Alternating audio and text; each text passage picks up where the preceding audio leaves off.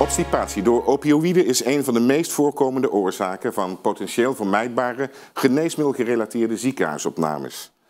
Het belang van laxantia bij opioïden is daarom groot. Volgens de richtlijnen moet elke nieuwe gebruiker van een opioïd ook een laxans krijgen. Toch heeft 25% van de startende opioïdgebruikers geen laxans. De koopstudie onderzocht de oorzaken.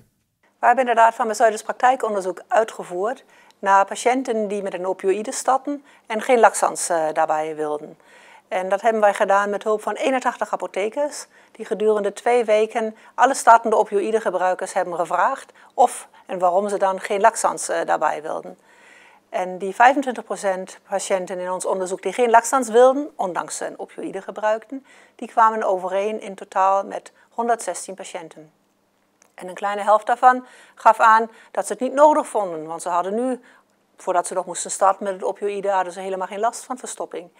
En uh, een derde wilde dan ook eerst aankijken of die verstopping inderdaad opkwam en dan pas een laxans gebruiken. En 20% van die patiënten vonden het helemaal niet nodig, want ze gebruikten de opioïden toch maar kortdurend. En bij uh, bijna 10% werd een laxans niet nodig geacht omdat die patiënten palliatief zijn.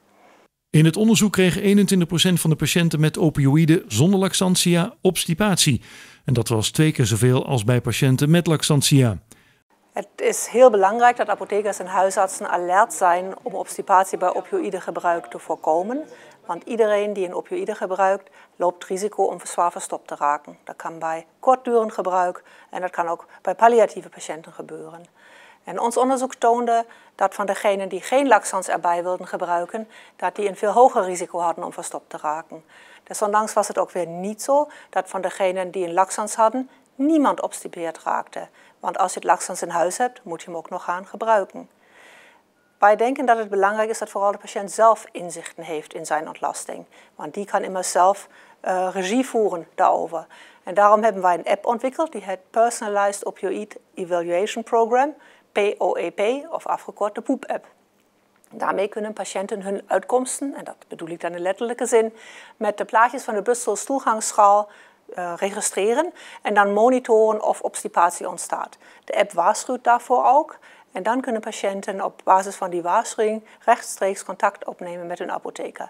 En de apotheker of een andere zorgverlener kan dan zorg op maat verlenen om obstipatie te voorkomen.